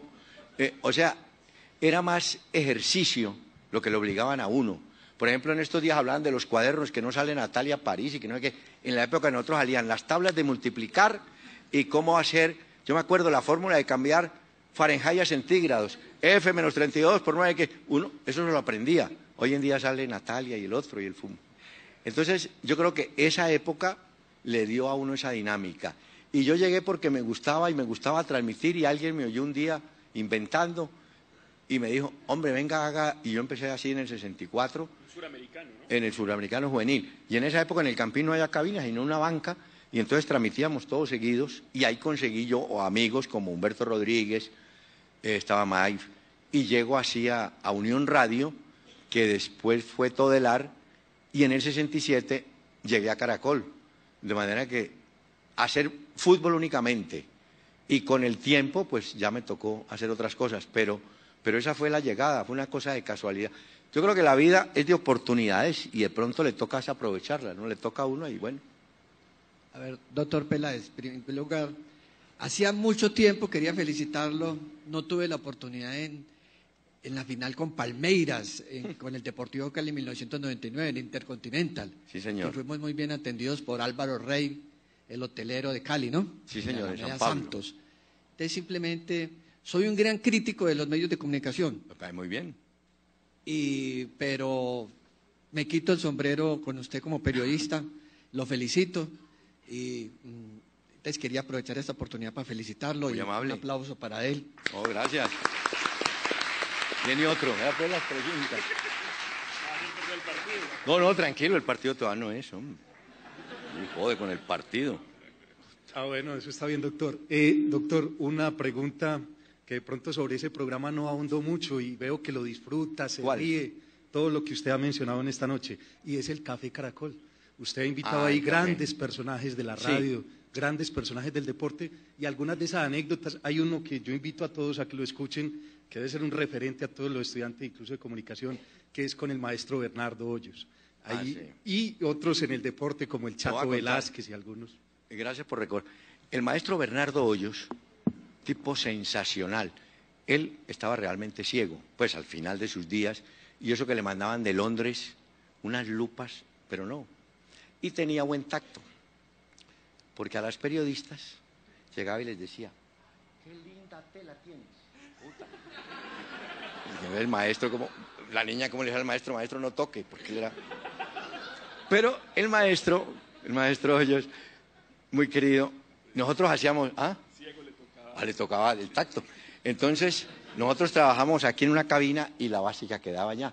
Entonces, por este pasillo se iba al sector de baños y él pasaba siempre.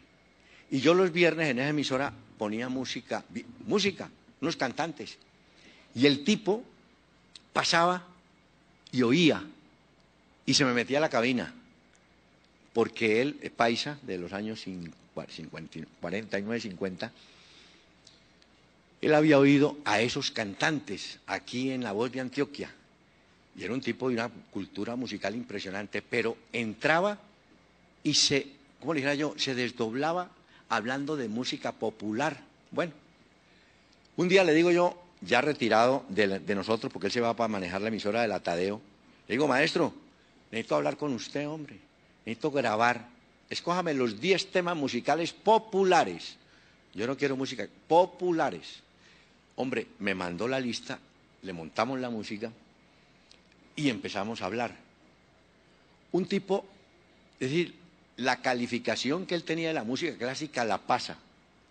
Por ejemplo, yo me acuerdo que le pregunté Celia Cruz, y entonces él me decía, Celia Cruz tiene una trompeta acá. O sea, era lacónico en la definición de los tipos. Por ejemplo, criticó a Carlos Julio Ramírez, que cantó Bésame Morenita, y entonces, según él, mal acompañado y mal cantado pero era un tipo que sabía de música popular como ninguno y, bueno, ni hablar de la música clásica. Él pierde la vista, mire usted cómo es la vida, siendo muy joven en Yugoslavia, en una infección, empezó a perder la vista y alcanzó a trabajar con la BBC, un tipo de una cultura espectacular. Y ese señor era otro como Paneso, yo. Como no podía leer, se sabía todo. Entonces uno decía, ¿si será verdad esa vaina? Sí, porque le echaba unos cuentos a uno tan berraco, y debe ser así, eh, un tipo brillante. Y ese café caracol le decía yo ya a los jugadores, fuimos a Mondongo 21 jugadores a hablar cháchara. Les decía yo, en el café caracol yo los presento porque me parece que todos debemos ser agradecidos con ustedes que jugaron bien y que pasan al olvido. Es que el jugador de fútbol se jubila a los 35 años. Uno va peleando y es que para los 60 y pico. Estos a los 35 quedan sin nada. Y la gente olvida, la gente va sepultando nombres. Y entonces yo decía, es una manera de rescatar a toda esa, por lo menos hacerlos sentir que fueron importantes en su momento, ¿no? Pero Bedoya está buscando equipo a los 39. ¿Tiene, ¿tiene fe? Buenas noches, buenas noches, doctor Peláez. Eh, la verdad que es agradecer porque, eh, digamos que la magia de la radio, yo soy más joven, pues, antes del programa La Luciérnaga, pero ayuda que después de llegar del trabajo de la universidad, eh, mi papá, que tiene ya 46 años, unirme con él y poder escuchar un programa y conocer la historia también de la Luciérnaga contada por él, porque es admirador de ustedes. Entonces, un momento donde yo llego y puedo sentarme a ver con las redes sociales las bobadas que publica Pedro, que publica Rosa, Risa Loca. Este entonces empieza uno, él se siente también ya parte del programa porque conoce la historia de casi todos los que han pasado. Entonces, muchas gracias por eso. y mi pregunta es también, doctor gracias. Es, eh, la pregunta es, doctor Peláez, ¿cómo mantiene una independencia? ahora, la independencia del programa, después de que pasó Caracol, ahora ese grupo PRISA, ¿cómo es ese recorte que usted ahorita decía? Intentar mantener la independencia de ser críticos, de intentar mejorar un poco esa situación ante una nueva administración. Sí, mire, Gracias. pues yo tengo una ventaja. Primero, que ya pasé la edad donde ya uno, pues, que puta lo echa. E, esa es una ventaja. Sí, porque un tipo joven como este, pues, hermano, necesito ese billete. Yo más o menos ya pasé eso.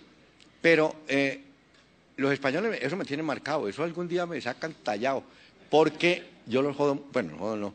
Les digo, ustedes vinieron por el oro y ahora vienen por la plata y las indias, porque llevan a las hembras. Se descrestan los españoles.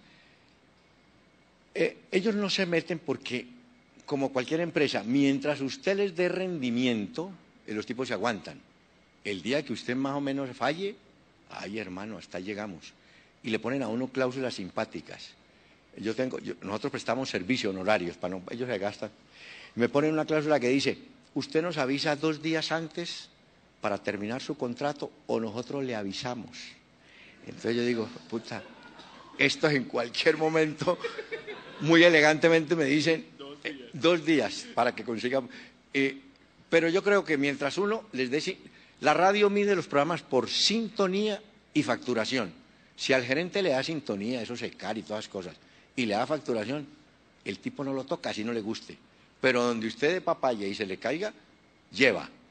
Eh, respecto a lo que decías tú del papá, eh, es muy simpático porque hoy en día recibimos mucho correo de los papás, de los papás no de los hijos.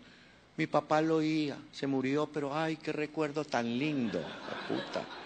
Eso me da a mí en la cabeza. Si mi mamá, a mí me mandan, yo tengo colecciones de cosas que me mandan. Por ejemplo, me llegan discos. Mi papá le dejó estos tres LP. No creo que me lo haya dejado, pero los tipos dirán, ah, mandémoslo a este, que este sí los pondrá algún día. Entonces me llegan, me llegan libros, me llegan, y todas las tenemos porque pues es un agradecimiento con la gente. Pero eso nos da la sensación de que hay dos generaciones. Si la generación es de 25 años, nosotros ya cubrimos una y estamos empezando a mortificar, a estar en la otra. Pero, como me dice, hay uno, uno que fue jugador serrano, vive en Cúcuta, el loco serrano, y cuando se mueren los jugadores yo siempre lo llamo. Llamo a él, lo llamo a Gallego, ole Gallego, se murió fulano de tal. Y al loco serrano, el día que se murió Cunda Valencia, lo llamé todo compungido. Loco, Uy, hermano, se murió el Cunda Valencia. Me dice, uy, está pegando en el palo. Ay, pues puta. Digo, no, no, estará pegando para usted, a mí no me meten en el paseo. Dale. Buenas noches. Eh, a través de redes nos llegan muchas preguntas. Vamos a transmitirle tres de esas preguntas. ¿Cuál es el futuro de la radio de Gustavo Durán? El futuro. Nosotros hasta ahora hemos logrado sobrevivir hemos descubierto que el servicio nos puede dar una gran ayuda, el servicio a la comunidad. Vuelvo y le digo, nosotros no solucionamos nada, pero sabemos quién lo puede solucionar. Entonces hemos aprendido eso y a la gente eso le gusta. Y, hemos aprendido que las compañías responden, eh, porque los mortifica. Nosotros cogemos una pobre compañía, como decir, Claro o Movistar, y, a la media hora los tipos dicen, miren, no nos jodan más que lo que pasa. Entonces le mandamos el correo la paloma, ese tipo de la paloma, pobrecito. Entonces, hemos encontrado que si damos servicio, podemos encontrar un nicho. La música. Nosotros creemos que la música sí es. Eh, nosotros hacíamos programa en la madrugada, hace muchos años, con un tipo muy bueno que era una carreta, un tipo llamado Humberto Vilches Vera. Y tenía un nombre sensacional para el programa. Se llamaba En la esquina de Caracol y el Cielo, a la una de la mañana y nosotros creíamos que ese programa lo oían los camioneros y las putas. Y resulta que no. Hicieron una investigación y dijeron, no, ¿cuáles putas? Las putas están trabajando. Pero, sí, sí, claro. Pero sí hay gente que tiene insomnio, hay gente que se desvela. Ese pobre tipo queda solo en la casa con los ojos abiertos, la mujer duerme. Y el tipo levanta pasitico y se va para la sala a fumar solo. Ese tipo tiene insomnio. A ese tipo es el que hay que trabajarle y empezamos a hacer los programas de esos del corazón y que no le solucionamos nada, pero el tipo cuenta el cuento, unos cuentos y se los inventan y los refuerzan, pero el tipo se desahoga y empezamos, que por ejemplo los tangos. Yo contraté a un tipo muy bueno que era Rubén Rafa, un argentino, y como era argentino, carretudo. Y primer programa, y yo más o menos alguna cosa sé de tango, y yo era director de la cadena, vamos a chequear este huevón. Pum, y de pronto mete un tango y dice, y canta Alberto Marino. Yo dije, no, ¿cuál Alberto Marino? Es Alberto Morán. Bueno, al otro día me lo encuentro. Rafa, ¿cómo te vas a equivocar? Alberto Morán no es Alberto, el otro, Marino. Y me dice el argentino, doctor, una de la mañana. Fue puta, que cante cualquiera, que fue puta. Pero en esa época todavía poníamos tangos porque creíamos que cautiva. Pero cuando el tipo nos contestó aquí, me dijo, no, ¿cuáles putas? Están trabajando. Hay que buscar a la gente que no trabaja y que está jodida. Entonces nosotros en eso, la radio ha buscado y se ha acomodado y ha conseguido, digamos, un nicho, ¿no? Eh, la otra era, ¿me decías? ¿Qué es lo mejor y lo peor del pulso del fútbol? ¿Del pulso? Del pulso del fútbol, Juan Urrea. Ya sé que están pensando. Lo peor, yo sé quién es. Pero, no. Sí, se la... No, pero eh, ahí sí estoy como en Artunduaga. Me escriben, eh, usted sí se ganó el cielo. Otro me dice, ¿usted qué mal está pagando, puta? Aguantarse. Bueno, pero eh, el chiste es simplemente, le dimos entrada a los oyentes con preguntas, le contamos cuentos que la generación de ahora de pronto no lo sabe, y tenemos un panorama del fútbol de hoy y del otro, ¿no? Entonces todos esos elementos nos funcionan. Y, mire que yo me inventé un saludo, un día me dio por saludar a los pensionados, porque no pagaban, no hay que joder. Ustedes no se imaginan, ese, salude a los bibliotecólogos, puta. Pero mandan los correos, salude, en esto ya me llegó, saluda a los bomberos, eh, a los mototaxistas del Maicao. O, sea, la gente entiende que eso, y me toca todos los días, es increíble. Ya tenemos planilla. El viernes saludamos a los rumberos, hasta las trabajadoras sexuales me tocó saludarlas. Y dije, porque ellas empiezan a trabajar a las 4 de la tarde, a nuestro adeno. Eh, o sea, eso es lo que, el chiste está en eso. Yo no sé eh, en qué cuento va. Y la gente toma partido, que el gordo dijo que, bueno, eso, que eso nos interesa, ¿no? Muy bien. ¿Y qué extraña de la ingeniería química? Pregunta Miguel Cuadros. ¿La ingeniería química? ¿Qué extraña la ingeniería química? Yo trabajé 10 años en la ingeniería química y trabajé con compañía holandesa, con la Shell, trabajé con los gringos de la ESO que eran más, trabajé con Carboquímica, esa empresa era colombiana, bueno, y yo resolví un día del año 73 salirme de eso. Yo trabajaba en la Shell, donde yo soy el, IDU, el edificio distral en la 22, y ahí teníamos, la, salíamos a las 5, un horario buenísimo. Entrábamos a las 8, salíamos a las 5 y tal. Y yo trabajaba en una oficina, así como decir esto, y aquí había un tipo de agroquímicos, los químicos, los de lubricantes, y yo, que manejaba, yo manejaba ventas de lubricantes y laboratorio. A mí me tocó, en la casa desaparecieron durante un tiempo las pulgas, todos los animales, pues yo preparaba insecticidas y puta, eso llegaba, la ropa acababa con todo. Y entonces me pasan a la administración, a esa parte de lubricantes. Y yo un día dije, no, yo esta vaina no me la aguanto. Estábamos sentados un viernes, íbamos a salir ya a las 5 de la tarde. Entre ellos había un vendedor padre de Lina Marulanda, Jaime, que vive aquí. Lina, la niña que murió. Y con ella me pasó un cacharro, hago el paréntesis. Ella trabaja en la W, muy linda, Lina. Y yo le decía, ay, mamacita, cómo está linda. Hasta que un día viene y me dice, vea, que llame a este teléfono. yo dije, aló, hola Jaime, era el papá de ella, hijo de puta. Bueno, eh, eh, pero el cuento termina en que estábamos sentados ahí cuando viene un holandés de esos, se llama Álvaro Coy, el señor ya murió. Alvarito, llega el holandés, te felicito, Alvarito, no tienes que venir el lunes. Y el tipo yo, ¿cómo así, mister? No, no, no, no tienes que venir el lunes. El miércoles vamos a hacer un almuerzo para hacerte la despedida. Y el tipo en la angustia le dijo, no, pero mister, vea, es que me falta eh, este cuadro. Déjalo, no te preocupes. Yo dije, puta, ese señor quedó, imagínese, el tipo estaba pensando volver el lunes y le dicen, no vengas. Y al holandés sacaba pecho, el miércoles vienes, te hacemos una despedida, te entregamos la bandeja, qué maravilla. El tipo se sintió, yo dije, no, este varillazo sí es muy berraco. Yo esta vaina no me... Y, y ahí más o menos empecé. Y además tenía el problema que cuando yo empecé a trabajar en las dos cosas, aquí jugaban los domingos y no más, domingo a domingo. Después inventaron la Copa Libertadores, entonces ya era domingo, miércoles. Y llegó un momento en que ya, ya no podía pedir más permiso, entonces dije, no, me voy para allá y me quedé allá. Pero, pero sí extraño, digamos, la disciplina, ese tipo de cosas, ¿no? Y si yo pudiera, ya no, trabajaría, por ejemplo, en distribución de, lubricantes. Oh, me encantaba, era buenísimo, mezclar tarrotecnia, hacer eso es buenísimo, pero no pagaban, entonces me fui.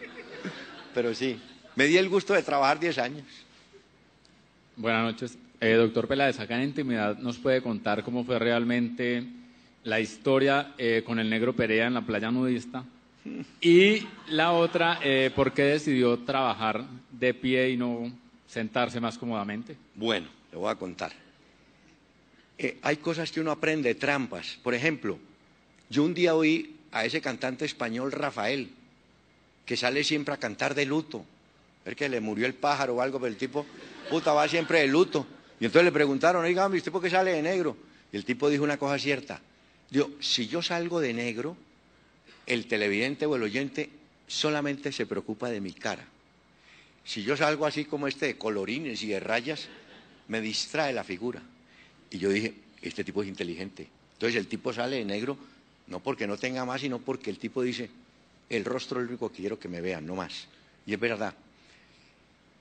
Lo de la playa nudista, fuimos a, estábamos en Francia, en Toulon, y entonces nos dice alguien, oiga, por aquí queda cerca la playa donde estaba Brigitte Bardot, que se llamaba Saint-Tropez. Pero, eh, Saint-Tropez, qué carajo. Y de pronto dice un tipo, un colombiano, que era el chofer, dice, pero hay una playa nudista allí en Pampelone. Eh, colombiano, imagínese, playa nudista. Y no, listo, vámonos para allá, hermano. Y nos fuimos para allá. Y entonces fuimos entrando, éramos cuatro. El negro Perea iba, dos muchachos. Iba uno de los araujos, bueno, yo y Mao creo que iba. Íbamos entrando. Y viene un policía. Policía de gorra y en bola. y dice el po y nos dice el policía, de aquí para allá, sin ropa. El tipo nos habló en inglés, el negro entendía inglés. Aún no sé qué. Entonces dos dijeron, no, cuánto yo la ropa. Entonces el negro me dijo, ¿qué? Le quitemos. bueno, nos quitamos la... y entramos. Pero les cuento, si no han ido, la sensación es tremenda, el golpe, porque uno espera ver a todas las hembras lindas. Y va saliendo la abuela, hermano. hijo de puta. Entonces ya usted dice, hijo de puta. Y entonces el papá en bola jugando con la niñita voleibol en bola. No, puta. Bueno, y entonces le dan a uno, si uno quiere un puesto en la arena, le dan una tabla que es un espaldar y paga en esa época 20, 20 francos había que pagar. Y usted encierra eso en la arena y ese es que es la... Ahí se sienta. Y entonces, uy, mira aquella, ay, está. Pero a los 10 minutos dice, uy, hermano, los años sí joden a la gente, ¿no? Pues puta. Y, y las playas se van llenando, el, el agua de ese, eso es helado, eso nadie se mete al agua. Y vienen las parejas muy bonitas, la noviecita cogía la mano con el tipo y tal. Entonces, de pronto, estábamos acostados ahí con el negro mirando, y de pronto viene una señora, y como decir aquí, entonces llega la señora y se mete acá.